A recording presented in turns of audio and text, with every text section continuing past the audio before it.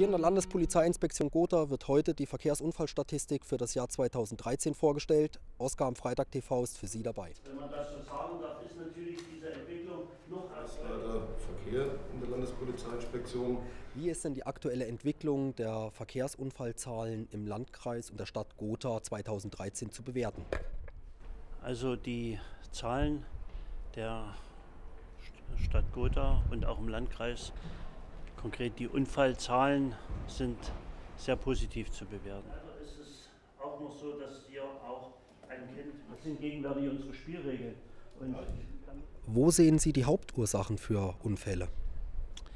die Hauptunfallursache ist natürlich wie in den Jahren zuvor die überhöhte bzw. die nicht angepasste Geschwindigkeit, nicht Gewähren der Vorfahrt und auch derartige Delikte wie Fahren Fahrzeug unter Alkoholeinfluss bzw. unter berauschenden Mitteln.